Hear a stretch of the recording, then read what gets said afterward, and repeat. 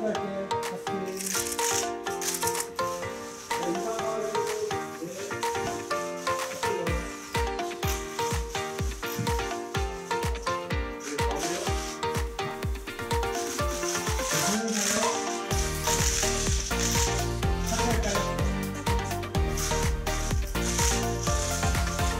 자, 오른쪽 보시겠습니다.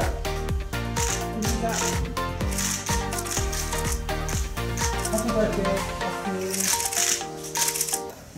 어, 일단은 이렇게 좋은 한인예고에서 졸업을 하게 돼서 정말 기쁘고 앞에서 많은 좋은 선배 선배님들 이어서 저도 꼭 좋은 아이돌이 돼서 한인예고를 빛내도록 하겠습니다. 네, 친구들한테 한마디 해주세요.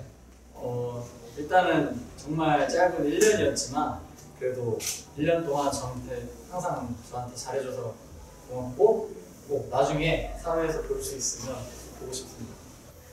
네, 성인 되고 하고 싶은 거 한 가지만 말씀해 주세요.